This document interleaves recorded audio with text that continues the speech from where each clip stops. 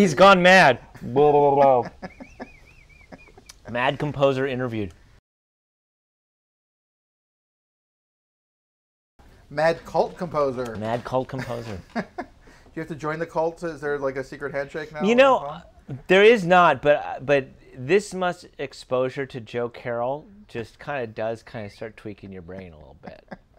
you know, I've I've gone into this sort of crazed fit of reading f- so much philosophy now, and then watching Joe Carroll, and then you kind of get like, well, what does anything mean in the end?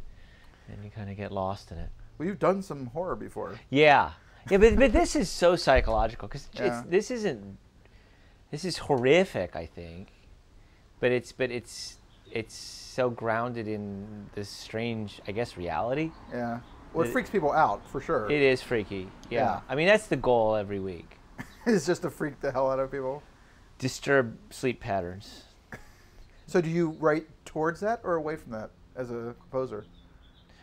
towards it, but that doesn't mean always towards it. I mean, I, I think that to get you there, it's essential to have you emotionally engaged. Hmm. You know, and so that so so one of my favorite things is you know that that the cast is amazing, and Kevin Williamson gives me the opportunity to create feelings for Joe and Emma. Well, I can I guess since the season's over, we can discuss Emma's fate. Um, but you know th- th- these characters who are extraordinarily twisted but we can get emotionally involved with them and then then they their actions become more and more disturbing as you fa- catch yourself caring for them at times i think really that's where the power of and weirdness and disturbing nature of the show is So, are you part of that seduction? I like to think I am. I think Kevin Williamson thinks I am. Marcos does. So mm-hmm. yeah, I mean that's really I think what what I what I most value in my contribution to the show is that is that I'm going to try to turn on a dime and get you involved in how Joe and Emma are feeling about each other. Mm. And because then when they take these horrific actions, they, they're magnified. If they're just horrific all the time, it has no meaning. Right. You know? So, you've kind of become a serious TV guy Yeah. over time. You really you start. You've been doing this for a while. Yeah, I've been doing this for a while. You were not a you were you're not a small child. well, Kate, we actually had this last season. We had a couple Academy Award potential people Yeah. in who were like literally this was their first film, and you Yeah. know, they'd done some work you know behind the scenes before that, but this is their first year as composer. They're like, wow, what kind of big blow up. But you've been doing this for Yeah, my long time. I mean my first series I think was in 95. Um, with John Sacret Young. It was called VR5. It was this really strange thing about virtual reality. um, yeah, so I've been I've been scoring a while. so when did this when did scoring start for you? Scoring started for me um, when I was still living in New York, um, and I was working for a, a, a guy named Mike Mainieri at his uh, who's the was leading a band then called Steps Ahead, a jazz group that with Michael Brecker and Peter Erskine, and they had a synclavier. I got very good at using this first digital music workstation. Um, and then on a sort of a fluke thing, I got a chance to work with Ryuichi Sakamoto on a miniseries called Wild Palms that, that Oliver Stone produced. And Ryuichi um, had recently, I think, won the Academy Award for The Last Emperor and needed me to sort of run all the synths and to keep the, the synthestration, the, the handling the synthesized arrangements of his themes, keep that all going at a, and you know for about an eight week period, and it was just fantastic. It was really fun. I don't know if you remember that series. I do actually. Yeah, but that was my first, and then after that, I was just completely hooked. That's what I wanted to do. That was like the that series was kind of almost like a spin off of uh, Twin Peaks, as I recall. It really the had that- studios, the networks all of a sudden decided that was a thing they were going to try to do, and yeah, not exactly. all of them took. Get as weird as you can. yeah. Yeah, but in, but in this same strange sort of futuristic place of playing with these sort of maybe Orwellian type of environment. Um, it was a really cool show.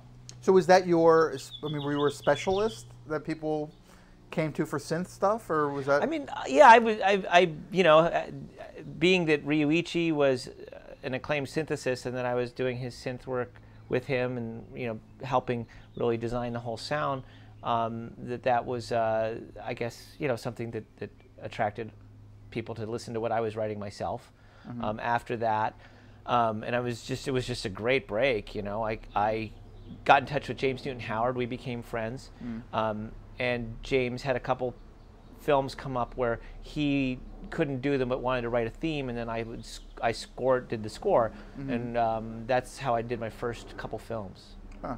So Yeah. did you want to be in a band when you grew up, when you were a kid, or were you always interested in the tech side of it, or I didn't know really. Um, I, I I sang opera as a as a kid. wow? Um, I sang. I lived in Washington D.C. and I sang at the National Cathedral in the choir there. And kids would get recruited out of that choir to sing opera stuff uh, with opera companies in the summer. I sang with the Paris Opera and the Metropolitan Opera, and then my voice changed, and I I kind of lost touch with music for a few years. So not to take the snipping. yeah, yeah, yeah. Well, they're not doing it as much now. I, you know, I don't know. It's not covered. I think Obamacare doesn't. And now, but yeah. now with Obamacare, They've it's, you changed know, how they how they you cover put it in, take it out, yeah. whatever. Yeah. But I mean, were you so? How did you end up there in the first place? In DC? In, in the, in the kids in the choir that I guess I sang well enough. I sing like I mean I sound like a deranged moose now when I try to sing, but but, I mean, were you, did you just sing all the time as a kid? Were Yeah. your parents into things? my or- father was going to be a concert pianist. Um, uh, threw in the towel when he was in college and became an architect, but he was a, he was a pretty good player. Um, so there was a ton of music around the house, just pretty pretty constant. Hmm. So it was um, it, there was just that's just music was just there all the time, and I sang and um, Did you think you were going to continue doing when you were a kid? Kid, did you you know have ambitions to to be in music. continue past your puberty, or did you? I didn't have any idea really. I think for a few years I, I played around like a, I you know I did school plays and something was attractive to me in that, but I didn't like being on the stage either. So it was this weird feeling of, okay, I like this whole thing with drama, but I don't really like being on a stage. So I don't want to be an actor. I didn't know at all really. I think when I first heard the score to the mission, is when something clicked and I go, ooh, this is this is something really real musically here. There was a period of time where I really wanted to be a jazz guitarist, and and, and mm. that's what I studied at USC and Manhattan School of Music, um, and realized from getting to know Joe Pass, who was one of my all-time heroes, mm. that I was never going to be that level of player. You know, I was never going to eh, do that, and it wasn't really the life I, I chose either, because I really am a bit more of a homebody in that. And so when um, I started to learn about the synclav, when I started to work with Ryuichi, and then I met James Newton Howard, it all just kind of clicked. Just sort of, okay, this is this is what I'm comfortable doing. It sounds like kind of an amazing apprenticeship or amazing young life to you know. I was really fortunate, really fortunate. I mean, especially with James Newton Howard, um, the opportunities that James gave me are still to this day. I scratch my head sometimes. Um, so I was really lucky. So when you got into that business, did it was it an easy learning curve to kind of become part of that? Once you made a couple films, where the people just the door was Uh, yeah, I, I mean, I think or- I had done when I lived in New York. I did a, a lot of commercials, and I worked at a, at a commercial place in my early twenties, at a, a jingle house, basically, and um, and I would probably write three or four jingles a day, and more and more I got known for writing things that sounded like film scores. And so I, I eventually got this sort of reputation, and maybe that's where sort of the idea came too. People would mm. hire me. We want this to sound like a film score. Can you write it? I go, yeah, no problem. And then I'm like, wait, maybe I should do what I sound like. Hmm. You know? So has creating a lot of stuff always been come easy to you? Yeah, the writing is the easiest part. Huh. I, and my favorite thing to do. I, I like to go in and I can just get lost in writing for days and days at a time. You know, and I write very early in the morning, and I write quickly, and then I review in the end of the day. Um, and so that part is just that's my sort of path of least resistance. So you have a ritual to to writing, Yeah. whether you're on a show or whether you're on a movie or whether you're on whatever you're kind of. Well, I mean, these last, I mean, most of the time I've been writing so much that when I'm not writing on a show or, or, or a film, I'm, I'm not writing. I just, I need to refuel a little bit. And some of that refueling is thinking about maybe buying some new instruments, learning some new things, trying out some, some techniques that are going to apply. I, I, I think the following was an opportunity to, um, there's a lot of ideas, sonic ideas that I've applied to that score um, that are is, is this constant state of evolution. Like, Well, one of them is is this is is this continuing goal to blur the line between what's acoustic and what's electronic.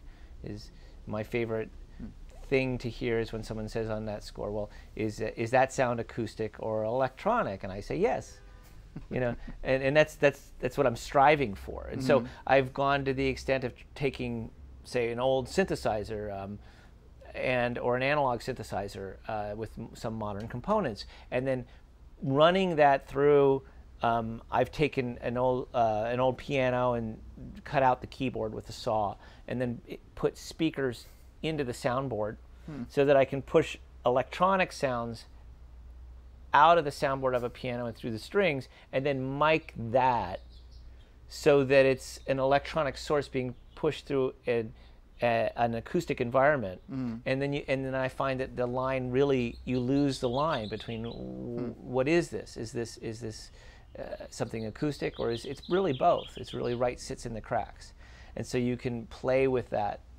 The mind, you know, we're attracted to these acoustic sounds and the electronic sounds have a have a coldness that's interesting and so when you blur the line i think you can really mess with people's emotions It sounds like you're really fascinated by the concept. But we, we talked to another composer of a TV show who was talking about just the time schedule Yeah. being so severe that you know the option of doing it with an orchestra is just a, not a possibility, really, or it's very rare in, Yes, in television. But it true. sounds like you're. This is not a function of you trying to get through the week. It sounds like you're really experimenting for your own passions.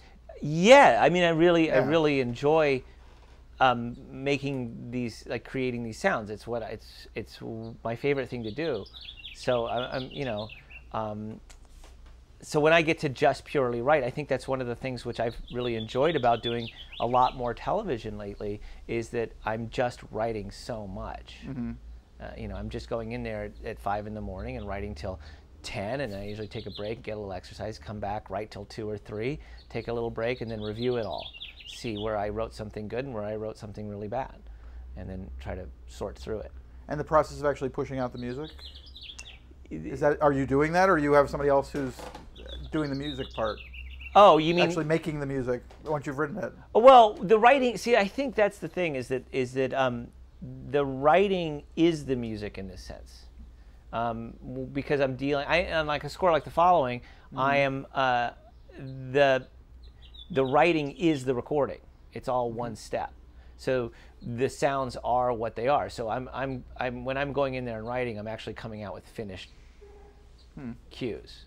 Um, when I'm when you're working for an orchestra, yeah, there's a, there's Right. a different step where I'm sitting there and I'm writing and I'm I'm sketching out what the orchestra's going to do. Then we go orchestrate, and so mm-hmm. that's when there is that whole other step. So performing and writing is the same. It's it's exactly they they they're blurred into one, and even engineering is is blurred into the whole thing because a lot of mm-hmm. it it's the nature of the sound which is the music, or, mm-hmm. you know. Um, and so yeah, it kind of all. F- I think where film scoring 25 years ago, you had a composer, an arranger, an orchestrator, an engineer, and then it just sort of collapsed into this one mega job. that You kind of have to handle all parts of it. so that other people, every, everybody else is kind of stuck this way as well, in terms of doing the whole. You're kind of expected as a as a television composer to. And I think I think I think as a film composer too, to be a to be an, a, an effective contemporary film composer, it's it's very similar because I think the sound of the score, um, it, it is how am I how do I say this? It isn't just going and writing for an orchestra much anymore and then recording that. It's how you use it. You, how you manipulate the sound. How do you differentiate? How do you blend in the electronic aspects with that? And that's all blurring the lines between being a composer, engineer. That isn't to say there aren't engineers that are really valuable and involved in the process, mm-hmm. but a composer has to think along many different lines today, hmm. Where it isn't just sort of the isolated, you know, sitting down with a piano and writing notes on a page anymore. And that's part of the fun for you. It sounds like. Oh, I love that part. Yeah, it's and, and I don't even. It's funny because in you saying, "Well, is that composing?" and I'm like, "Oh, yeah, you're right. The, the term has changed. That I don't even really think of it in terms of, um, yeah, it's all kind of one thing." Well, I mean, I spent a lot of time going to the to that to Fox to you know go to that stage and watch the orchestra come in Sure. and you know see all that happening. But I guess that's not, as we had the conversation before, not an option for most films, TV shows certainly. Well, not yeah, as many films either. I I, think guess. there are. I think there are still some. I think Lost did it. I know Mike Giacchino. Yeah, there's. I think there's several TV shows now that are are still doing it. Maybe not every week. Right. Um, I don't know, uh, but th- but there are some. You know, it's a great thing to have. It isn't the sound of the following. I mean, if it Mm-hmm. was, if that was the sound that would really serve the following, I would push very hard to get it, and that you know to, to try to get everybody on board. But it isn't the sound of the show. Right. You know, it isn't what serves the, the story. So when you meet with Kevin to talk about doing the show, Yeah. I mean, is that does he just know your work and loves you and wants you to be part of it, or was there a real audition process on some level? To, No, there was no audition on the following. I was um, Kevin had asked me to do a show before that called The Secret Circle, which I did, and then Kevin, while we were working on that show, which only ran one season, Kevin said he had this pilot. Would I do it? I said absolutely. So um, did that. And I just finished another pilot for Kevin. so similar kind of sound on the Secret Circle, or No, it was different. It was, um, uh, I think more. There was a more of a of a sort of a of a of an orchestral sound, but we didn't use an orchestra on it, um, so it didn't have as much character and definition as the as the following. The following, I'm I'm, I'm glad that it, it to me I can I feel like, oh yeah, that's a following cue. That's the that's this world that we're in. And and season two, I think, was an evolution of season one. Um, and coming up season three, I got to start to really think. So what's what's going to be? When am I going to go out and start to build this sound palette library over the summer, so that when I start writing in the mm. fall, that I can take it from where it was to someplace new, but still have a coherency that this is mm-hmm. still an offshoot, that this is still related.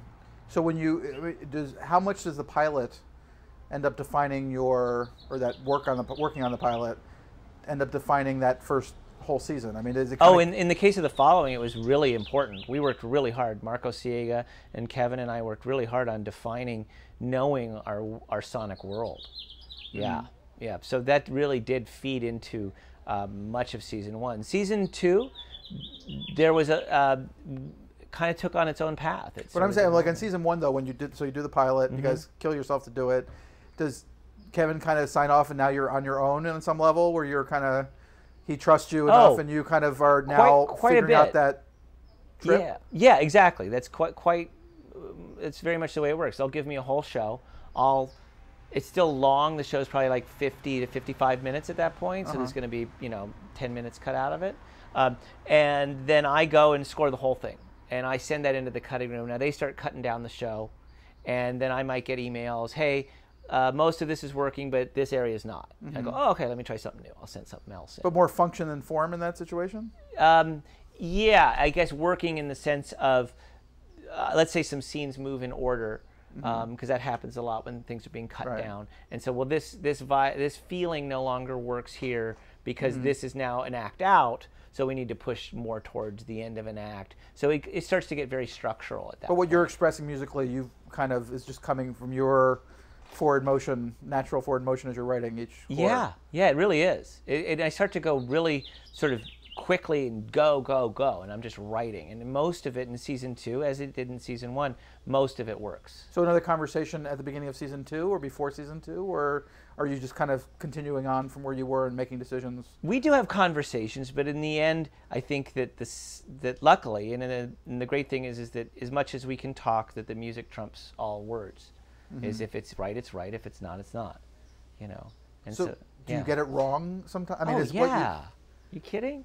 well, I mean, what's that like? I mean, is that still uh, whether it's still in your in your in your workroom or is that no, no, no. it It'll and go, off "Oh, to the cutting room, and I'll just, I'll. I mean, I like to push. You know, I like to push on the show to see, well, could we go here? And I'll send something in that might be kind of off the map, and I'll just say, oh, well, that swing and a miss. You know, so, so I, you know, as I say on a good day, You just get a phone call, swing and a miss. Usually, yeah, you- usually an email.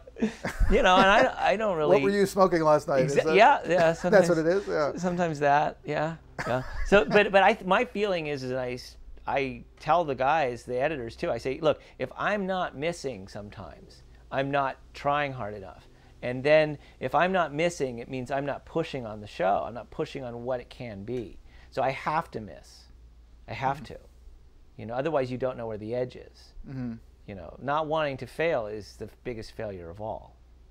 So it's not a, it's not a job, it's a calling, even even after all these years. Oh yeah, and I think that if you lose touch with, and then look, there are times you get tired of writing.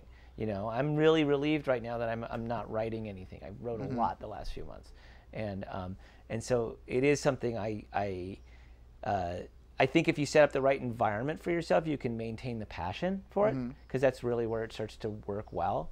Um, but yeah, it is. It is. And the experience of doing a movie as opposed to a series for you? It, they're, they're great. I have a film coming out in August um, called The Loft, which I, I just adore.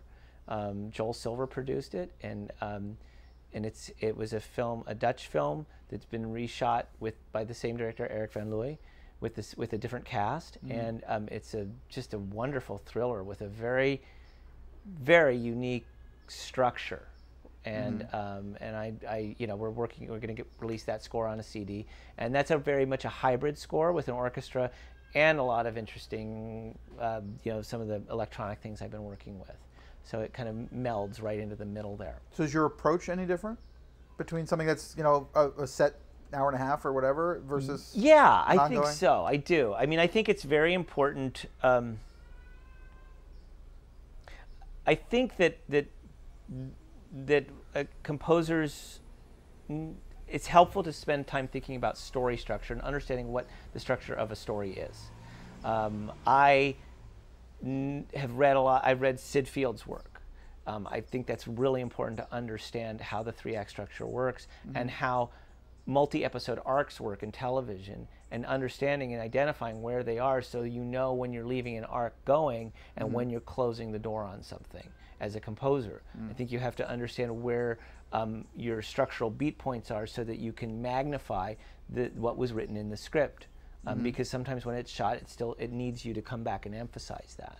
Um, I also think, um, you know, another perspective to always understand as a composer is I try to look at it from a sort of a Joseph Campbell point of view. So what journey is are these characters on? What is the unknown they're into? Where is their abyss? Where is their return? And how did this story transform them? You know. So you're doing work similar to an actor in a way, in preparation for writing. It Uh, sounds like. I think so. I mean, I think that's really important to do. I think that I think that it isn't about writing music as much as it's about telling a story. At the end, you it's a story. This is a story. You're part of a storytelling team. Did you ever have the uh, any of your stuff in the past or go? I'm gonna write a theme and I'm gonna you know be Mike Post and have it become a Oh. hit single and you know like I we need to find that like opening theme for the opening credits and that's my job on this one. I mean I guess with advertising Yeah, it must have been a bit like that. I guess so. I mean, I think that I think that um, the types of projects I get asked to do, it's more texture than theme, perhaps. Um, there is, for instance, there isn't a lot of thematic material in the following. It's Right. kind of just a texture. It's Yeah. just these textural things, um, which in a sense can be almost harder because you. Uh, but but Well, no, the I- industry's gone away from those. you know, Exactly. Yeah, we the opening have- minute and a half is Yeah. now minute is now 20 seconds at most. or five seconds. it's just sometimes just a card, just a logo. Yeah. There isn't that space on television. We, we we've we've constricted the world down to these. Uh, you know, every second is so critical. And But it doesn't sound like that bother. It sounds like it's a perfect fit for you. Yeah, I don't really. I don't. I, I never really thought about that. I would be happy to write the next Gilligan's Island theme. I guess I could do that. But you were never like a pop writer. You never thought about like you know you're gonna write a pop song, were you? Or have you? Or Well, um, it's funny you mentioned that. I don't write a lot of pop songs, but I am working with an artist now that I'm producing with uh, T-Bone Burnett and I are co-producing an artist that we're um, getting ready to record an EP with.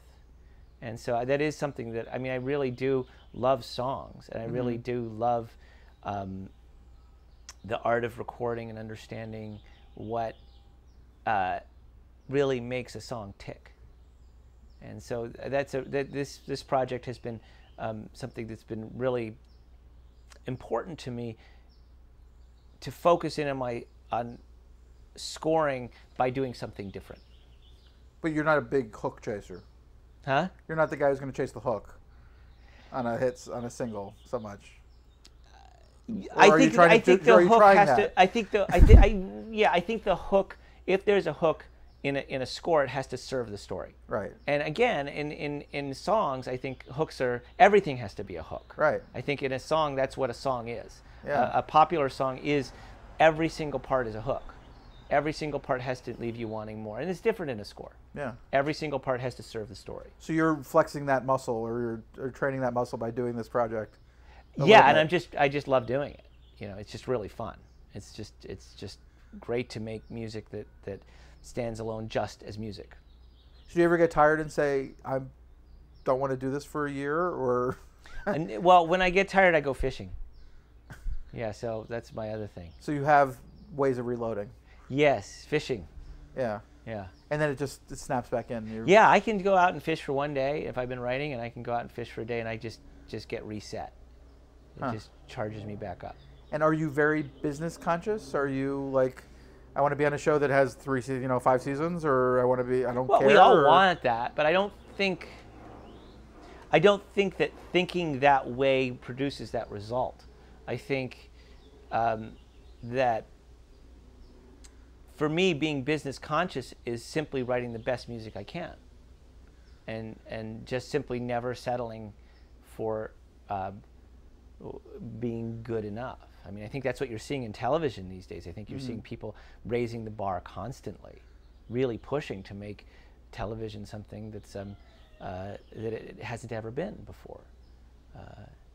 Well, in some ways, I I mean, uh, there, I've, I have multiple theories on this, but Yeah. I, I mean, I think that the '70s, uh, we're, in some ways, we're seeing a return to the '70s because companies were going into business. I mean, I think that's like AMC. I think those shows happened in part because they had to have something that was so intense and, and unusual that it got attention, and now the networks have followed in kind with Mhm. shows like The Following and uh, Blacklist and Mhm. whatever. Blacklist you know, they're willing to go there in ways that they weren't because they're not having they don't have the audience sitting there eating out of the palm of their hand anymore. So now they really have to go get them. The competition has definitely spurred the creativity. yeah. But as I say, I mean, I think my feeling is is that the best thing I can do for my business is to just write the best music I can. And you're well established enough that you're not you're not ever like a dearth of work for you. I assume. No, I, I stay busy. I stay really Yeah. busy. You know. Well, I know Yeah. you stay busy, but I mean, you. They're, they're- I'm sure the phone is ringing even when you're. It's ringing. I mean, yeah, yeah. I mean, look, this is a, always a challenging business. I think for anybody to have longevity in it, you have to keep your sound fresh, and you have to be uh, um, fun to work. Not just fun to work with, but but effective to work with. You know, and and work as a team and stuff. Um, and I think that's another thing in television that I really like is that um, there isn't a lot of second guessing. You're not in these endless meetings where you're discussing, you know, previewing seven different scores to 14 different demographics and then trying to pretend that logic applies to this. You're being scientific about how to tell the story. You have to sh- you have to feel it and you have to go. We were talking to this, another this other composer on a TV series who was saying that you know basically he's turning in the final 24 hours before the thing's airing practically on a weekly basis. Yeah. Are you do Are you also in that track, or are you a little earlier? Or? We're a little earlier, usually about a week. But Uh-huh. yeah, but but um, but yeah, you you really have to trust your instincts, and you have to. uh, The whole team has to function um, from a place of knowing creatively what you want to do, not having a lot of time to second guess, and just go, just go, you know. And that's fun. That's really creative. It's it's it's very much you become very much in the moment of what you're writing, and you're um, and it's very visceral and it and and sometimes you go wow i wish i had another hour on this one. And you just get and you just get in there and do your best you know? And so it's it's a kick. It really is. And do you look back much? Or are you a person who goes, you know, that thing I did 20 years ago, or that, you know, or listen to your old music, or? Not much. I mean if it if i sort of stumble across it just for some reason that but i, I really like to keep moving forward with with what i do and what i write. Um, and uh, and to keep the sound evolving although sometimes i'll go wow you know i might be thinking um, i think the times i do reflect on what i've done is when i get called for a project and they want me to send in a reel some some music I've written in the past, and that's when I sort of go back and reflect on. Well, I did this, I wrote that, I wrote that.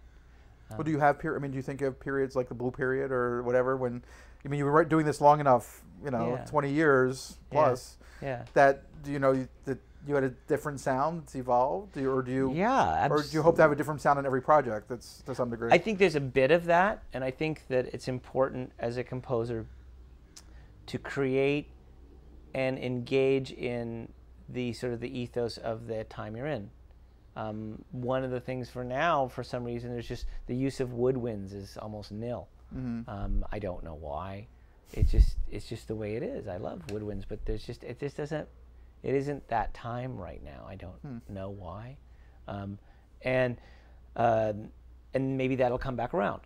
So that's just a tiny example of I think of how you want to follow something, but maybe maybe you can be the guy that comes out and does this score that's all about woodwinds. Everyone goes, "Wow, is that refreshing?" Um, so you have to be, you can't be subservient to the trends, Mm-hmm. and to ignore them completely leaves you kind of out of the place. So it's a, I think it's just a balance. So you're aware of Does that make everybody everybody else's music also. Yeah, oh, absolutely. Yeah, I listen to my peers a lot because I have such amazing peers, and they're writing such great stuff. So I try to listen to a lot. You know, Hmm. And, it's kind of fun to be the guy who brought back woodwinds when that happens. If that, if that I'm day. that guy, I have no idea. you know, I don't know.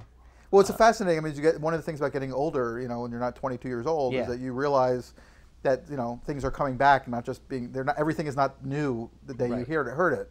Ex- yeah, exactly. know, things and- going. There's cycl- cyclical things that occur. Things are Yeah. going around, and and what what was not in in sort of fashion or style comes back around, and things change. Mm. You know, I mean, I think in the '70s when when Star Wars came out, I think that was a it was a, a, Williams made a complete, you know. Um, re- reversion back to the orchestra after you'd had a decade of of different types of scores, exploring electronics and jazz mm-hmm. and intermixing things in some great ways. But it was like this re- it, it was a reestablishment of of that sound, and I think that you get these sort of breakthroughs every now and then. Well, in film, we're definitely in a non-theme period. I think. I mean, very Hansi Yeah. led, but Yeah. it's like it's not. People don't have the memorable, hummable themes so much anymore. And- And, and- someday that's yeah. going to come back again, and we're going to be all in shock. right? It'll just come back and you'll be playing these big, wild themes, and everyone will, go, wow, okay, that really works. But but maybe that is in line. What you're saying, I've often thought that perhaps that's a bit in line with how acting changes. Um, is I think if you look at how much more broad acting may have been 30 years ago, 40 years ago, um, that scoring kind of follows the the the line that acting takes, and hopefully they're all working together in that. Does that? do you- Well, that irony has taken over everything. I think. So The this the sincerity of John Williams. Now people think it's Yeah. gooey or icky or whatever. Well, I don't. I, Well, I know. I mean, yeah. it's still great work, but it's like people don't have that same response they had 20 years ago. Yeah, I think if you don't write, if you write, if you just write for the orchestra without really understanding it, if you're not, uh, you know, a, a complete and total genius like Williams, then you can come off as just sort of sounding stiff, maybe. But we'll go back. I mean, I'm sure there'll be a moment we'll go back to sincerity for some period. There'll be some Yeah. director, post Spielberg director, Exactly. who you know brings back sincerity as a theme. and people Exactly. get into it again, and the big scores will have that. You know, will will match that, and Yeah. you know, we're now we're in irony mode where you know the guys with David Fincher. That's the tone of the moment. It seems like It is you know. completely the tone of the moment. Exactly. We're, we're thinking about what is what is being said isn't always what we're thinking about. There's this Yeah. different text, subtext to it all.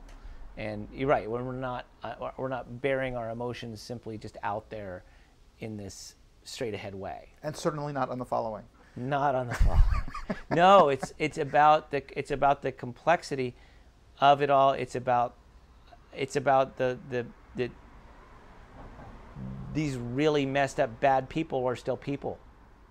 And and and getting seduced into their thinking.